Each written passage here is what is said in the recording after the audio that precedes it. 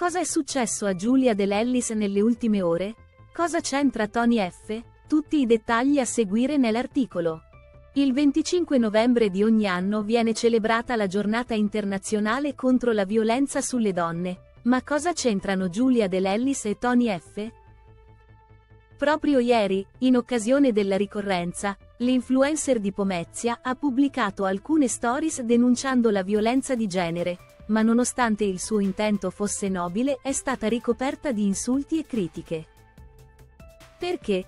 Giulia Dell'Ellis ha condiviso un suo pensiero sulla giornata in questione e molti dei suoi followers si sono schierati contro di lei, citando Tony F. Giulia Dell'Ellis ricoperta di insulti nella giornata contro la violenza sulle donne. Giulia Dell'Ellis ha condiviso con i suoi followers un messaggio a favore della giornata internazionale contro la violenza sulle donne. In tanti, dopo aver letto le sue parole, hanno citato la sua relazione con Tony F. Ecco cosa ha scritto l'influencer nelle sue stories.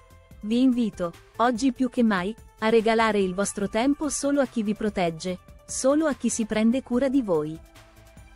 Solo a chi vi supporta e sopporta con rispetto e delicatezza. Solo a chi vi guarda e tocca con amore. Successivamente, poi, pubblicando una foto della mano di Tony F sulla sua coscia, Giulia Dell'Ellis su Instagram ha scritto: Le mani di un uomo vero ti accarezzano. Cosa c'entra Tony F? Ma per quale motivo Giulia è stata criticata? E cosa c'entra Tony F? In tanti, sul web, hanno criticato le parole dell'influencer, sottolineando che evidentemente non abbia mai sentito le canzoni del suo fidanzato. Ecco alcuni commenti che si leggono via web. Non ha mai ascoltato le sue canzoni, e si vede, e ancora, lui il simbolo migliore per la giornata devo dire. Come sappiamo, molti rapper e trapper come Tony F, usano spesso delle frasi colorite nelle loro canzoni, queste, in effetti, appaiono ben lontane dal rispettare le donne.